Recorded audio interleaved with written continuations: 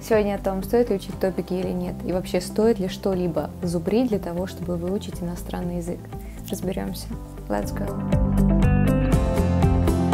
Язык – это средство общения. Ключевое слово – средство, инструмент – с помощью чего мы налаживаем коммуникацию, понимаем друг друга, выражаем свои чувства, эмоции и доносим необходимую информацию до собеседника. Возможно ли донести информацию до собеседника, просто зазубрив какой-то кусок текста?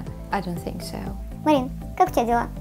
У лукоморья дуб зеленый, золотая цепь над убитом, и днем, и ночью кот ученый все ходит по цепи кругом. То есть для того, чтобы поговорить о погоде, совершенно не обязательно учить текст про погоду, потому что текст это статичная структура, а разговор коммуникации это всегда динамичный процесс. Собственно, зачем учат топики? Для того, чтобы мочь построить коммуникацию на определенную тему, конкретную, которая задана в этом тексте.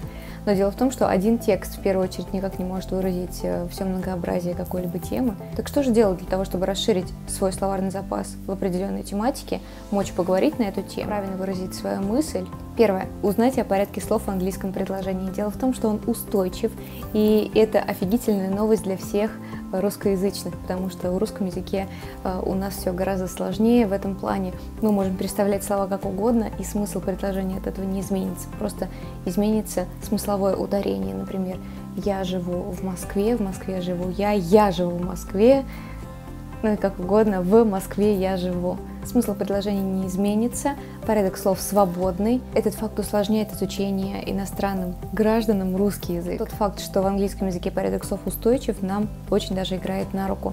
Это первое, что стоит знать для качественной коммуникации. Устойчивый порядок слов. Почитайте об этом. Второе, что стоит делать для того, чтобы мочь коммуницировать, это читать топики. Лучше пересказывать их своими словами, опираясь на первое правило, указанное выше устойчивый порядок слов, вы помните, да? И помимо одного текста, стоит дополнительную информацию по этой теме читать. Это могут быть статьи э, из журналов, газет, это могут быть радиоэфиры, подкасты, аудирование на заданную тему. То есть исходный текст топика обязательно следует дополнять чем-либо, чтобы в полной мере получить информацию о заданной тематике.